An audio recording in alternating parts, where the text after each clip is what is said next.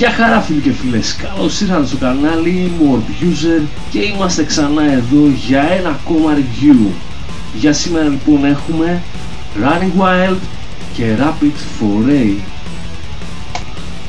Ποιος θα το περίμενε εν έτη 2016 ότι θα μιλούσαμε για μεγαλειώδες επιστροφή το Running Wild.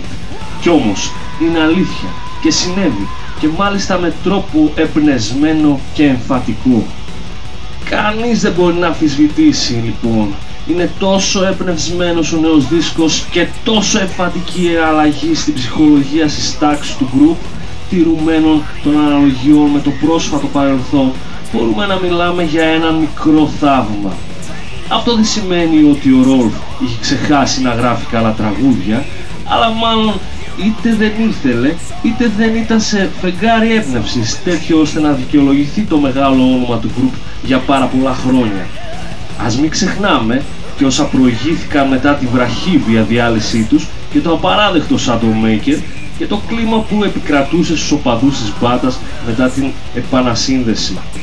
Οι οπαδοί άρχισαν να μιλάνε για τελειωμένη υπόθεση, για τελειωμένο χαρτί. Μια καλή αρχή έγινε με το προηγούμενο άλμπουμ, Resilient, το οποίο χωρίς να είναι κάτι το εξαιρετικό, έδειχνε ότι τουλάχιστον υπάρχει λίγο φιλότιμο. Για να φτάσουμε στο 16ο δίσκο της ιστορίας τους, ο οποίος είναι ό,τι καλύτερο έχει προχωρήσει από την εποχή του The Rivalry και μετά κατά την προσωπική μας άποψη.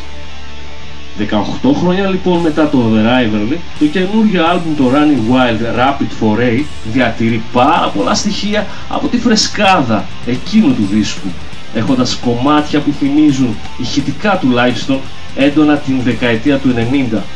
Το άλμπουμ ξεκινάει εκπληκτικά με το δίδυμο Black Skies Red Flag, Warmongers, μιλάμε για δύο τραγούδια τα οποία θα μπορούσαν άνετα να βρίσκονται σε οποιοδήποτε άλμπουμ του συγκροτήματος και από την πρώτη ακρόαση θα φέρουν το χαμόγελο πίσω στους αρκετούς πικραμένους οπαδούς της μπάτας.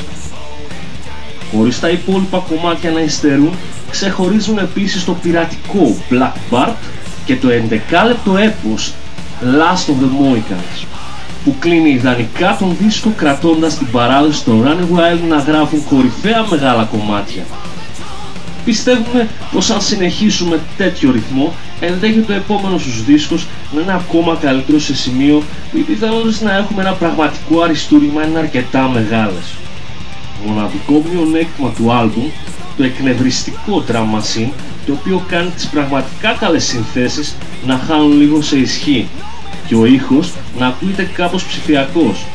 Φανταστείτε τι θα γινόταν σε αυτό το άλμπουμ θα έπαιζε ο York Michael. Αυτή λοιπόν ήταν η Running Wild, αυτή ήταν η εκπομπή Reviews, ήμουν ο Abuser και ακόμα ένα επεισόδιο έλαβε τέλος. Μην ξεχάσετε να κάνετε subscribe στο κανάλι, like στο facebook και follow στο twitter. Μέχρι το επόμενο άλμπουμ, γεια χαρά!